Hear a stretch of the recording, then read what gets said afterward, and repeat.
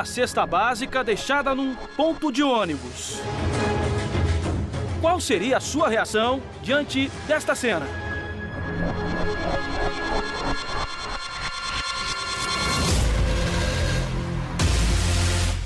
Mais uma vez, os alimentos vão ser colocados em dobro. E o recado intrigante que vai mexer com a curiosidade das pessoas. Você pode levar tudo isso, mas se encontrar alguém que precise mais do que você, pode doar, dividir ou escolher ficar com tudo. Estaremos sempre te observando. Assinado Anjo Secreto. A cesta já está no local. Quem será que vai ficar com ela? A gente vai descobrir a partir de agora.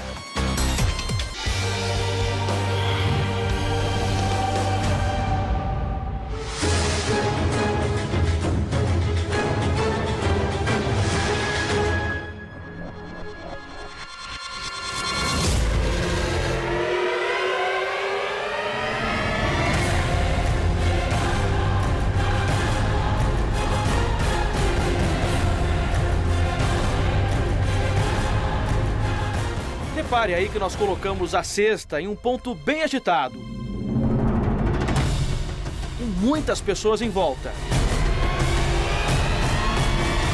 Para tentar captar o que as pessoas dizem, instalamos perto do teto do ponto de ônibus esse microfone. Mas o local tem muita movimentação. Ônibus e carros passam em alta velocidade. O barulho também é enorme. Vou ficar mais afastado da ação, dentro dessa van. Aqui consigo observar tudo o que acontece no ponto de ônibus. Dois produtores com câmeras escondidas vão ficar mais perto da cesta e vão estar atentos a tudo. Atenção, equipe que está me ouvindo no rádio aí, Logo de cara, a mulher com a criança no colo repara nos produtos mas parece tímida. Aquela senhora que está com uma criança, é isso?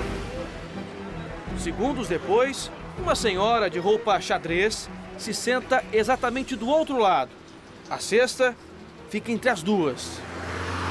Assim que alguém lê o bilhete, a gente vai ver realmente se a pessoa vai levar ou não a cesta.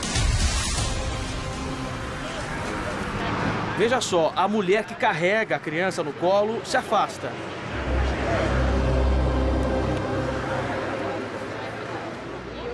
A senhora que chegou depois fica desconfiada, achando que a cesta havia acabado de ser esquecida.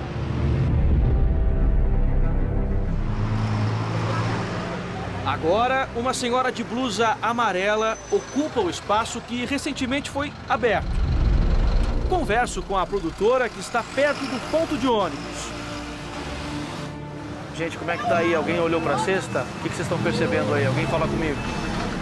É, a senhora de xadrez está curiosa. Ela olhou algumas vezes para a cesta, que está sentada do lado, e aquela senhorinha de amarelo que estava ali nem olhou. Ó, levantou uma, ninguém vai pegar a cesta. Na sequência, aparece este casal são necessários pouquíssimos segundos para que a cesta seja notada. A cena chamou a atenção. O homem e a mulher estão se aproximando. Repararam na cesta e estão curiosos.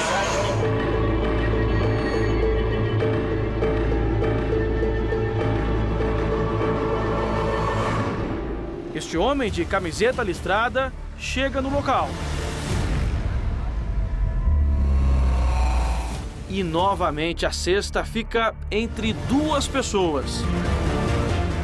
Enquanto isso, o casal que parecia que ia ficar com a cesta vai embora. Ninguém vai pegar a cesta, tá, mas tá o bilhete ali falando.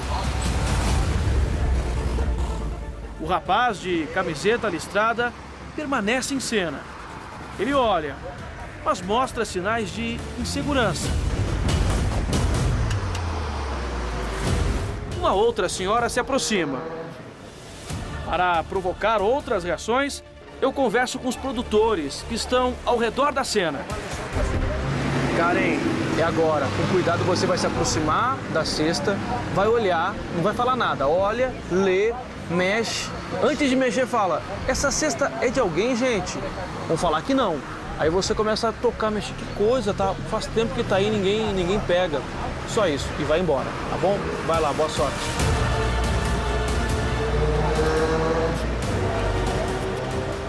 Essa cesta é de alguém? Da senhora, sim? Faz tempo que eu tô aqui ninguém pega essa cesta. Será que esqueceram? Parece que deu certo. O homem e a senhora estão conversando sobre a cesta. Ela conseguiu abrir a discussão, a nossa produtora. Ela falou, ué, que cesta é essa? De quem é? Foi embora agora. E as pessoas começaram agora a conversar sobre a cesta.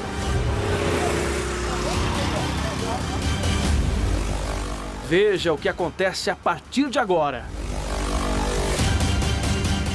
Karen, ela pegou o litro de óleo? Pegou, exatamente. Ó, abriram a cesta e estão pegando alguns produtos da cesta e estão dividindo entre eles. O rapaz e a senhora, mas acho que o rapaz não pegou nada.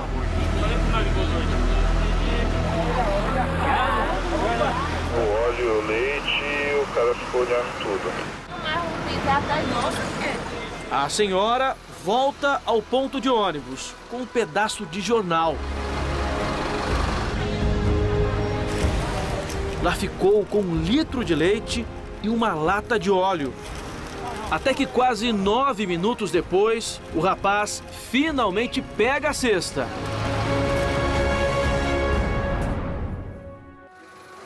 É hora de segui-lo.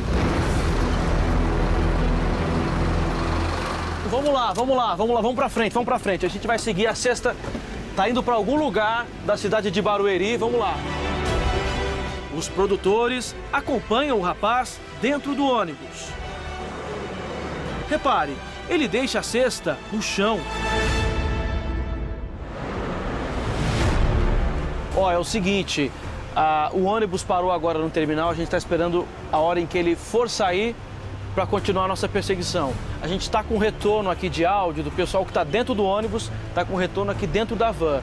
Ele está um pouco desconfiado, é, então a gente não vai abordar ele agora não. né? A gente vai esperar um pouco mais, ele esquecer um pouco da cesta e da situação toda, para que a gente possa se aproximar dele aos poucos. Quando ele descer do ônibus, a gente vai atrás.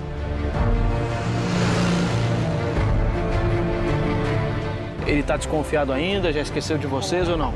Ele tá dando umas encanadas de vez em quando, mas parece que tá mais suave. Aparentemente não tá mais desconfiado. O ônibus entra agora neste bairro simples da Grande São Paulo.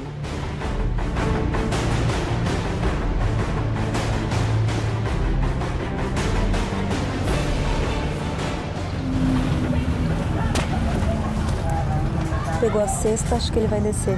A primeira parte ele já fez. Ele dividiu o que tinha na cesta com aquela senhora que estava no ponto de ônibus.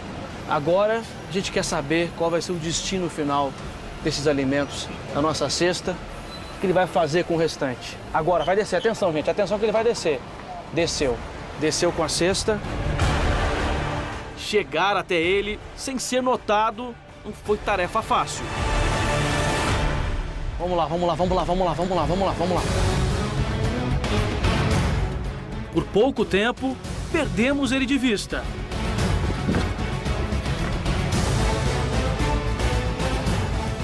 Só depois descobrimos que o rapaz veio para este local. Ele entrou nessa casa com um portão preto. Agora tem que tentar chamar ele.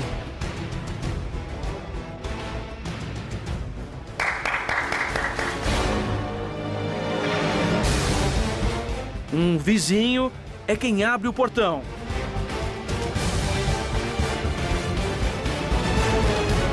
Não, ele entrou aqui com a cesta. E agora? Você chegou a ver alguma coisa? A gente, é que ele está participando de um quadro e não sabe. Até que, enfim, alguém mostra onde está o rapaz. Ô, Júnior, você pegou uma cesta agora há pouco em um ponto de ônibus? Peguei. O que, que você fez com essa Tá cesta? aqui em casa.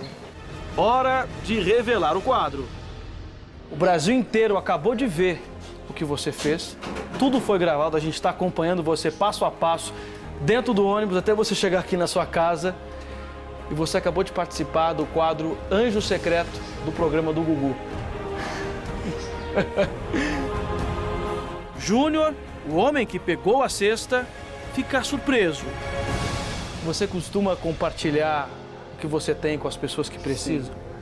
Quê? Por causa que tem uma pessoa que eu moro, é, essa pessoa sabe da minha vida toda. Eu morei na rua praticamente, tudo. Você já morou na rua? Morei na rua. Quanto tempo? Muito tempo. O que, que aquela senhora falou pra você quando você compartilhou? Ela falou assim, eu preciso de um- pegar um leite e um óleo. Tô precisando. Eu falei assim, não, pode pegar. Ela falou assim, não tá roubando, né? Não tá roubando? Eu falei, não. Eu falei assim, eu vou pegar pra mim. Esse é o objetivo do nosso quadro. É poder mostrar para as pessoas que estão em casa que às vezes um pequeno gesto pode fazer toda a diferença para quem está ali do outro lado precisando de algum tipo de ajuda. Nossa produção descobriu que a pessoa com quem Júnior vive é a namorada dele, Flávia, e que ele tem um sonho: que a namorada passe por uma grande transformação no visual. O que Júnior não sabe é que isso já aconteceu.